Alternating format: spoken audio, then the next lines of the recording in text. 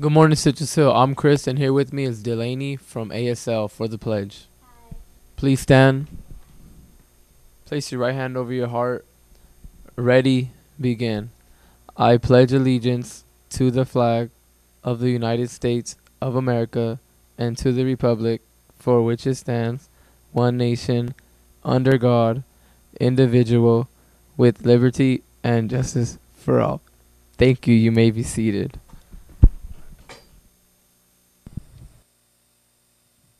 Good morning, Citrus Hill. Happy Tuesday.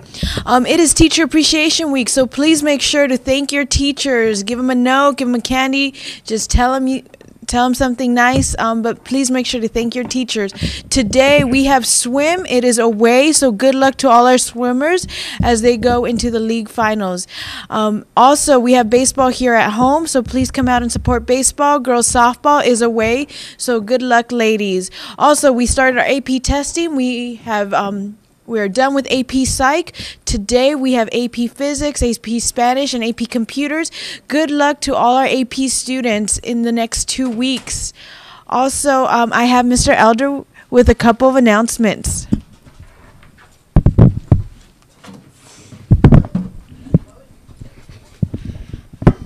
Okay, good morning, Citrus Hill. A couple of announcements from the intervention office.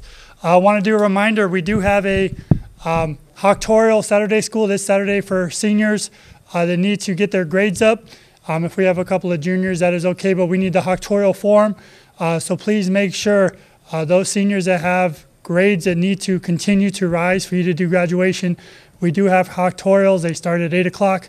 Please be here on time and get that done uh, so that that could help um, fulfill the requirement for your senior activities. The, just to let you know, for the month of May, Attendance is mandatory to participate in graduation activities. So those seniors, make sure you have no unexcused tardies or absences for the month of May. Uh, make sure everything is cleaned up so that you can do your two senior activities, Magic Mountain and grad night, and also walk at graduation. So attendance is crucial uh, for dealing with the end of the year activities. So please make sure you are here on time. Please remember the last part of the year, the rules still apply. It's going to start getting warm. So dress code, ladies, no spaghetti straps. Remember, no holes in your jeans above the knee. Please make sure you're not wearing flip-flops. You need to be in accordance with dress code. It is a California mandate. Um, even as it gets warmer, wear a t-shirt instead of the spaghetti straps. Make sure you are in dress code. Make sure it's an appropriate t-shirt as well, gentlemen. Um, dress code will be enforced the last three weeks of school. Please make sure when you are out of class, you must have a pass. So yes, admin or DSOs are going to stop you, ask where your pass is. Some students walk by and just hold up their pass uh, with their classroom number on it so we know where classroom you came from. If you have a pass that was written out, it needs to be one per student so that you we know who is with which pass. I can't have multiple students on the same pass. Please make sure the restrooms are locked the first 10 minutes and last 10 minutes of every class period. Make sure that you are not asking to use the restroom at that time. Your teacher is going to say no because the restrooms are locked. That's not up to them. They are locked, so there's no choice to go to, to have a chance to go to the restroom. And please make sure you are in class before the tardy bell rings. Yes, if you're standing outside your classroom when the bell rings, you are tardy.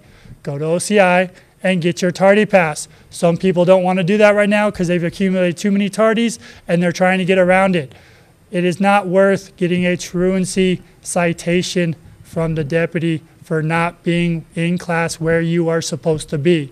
So please make sure the next three weeks, handle business. Please continue.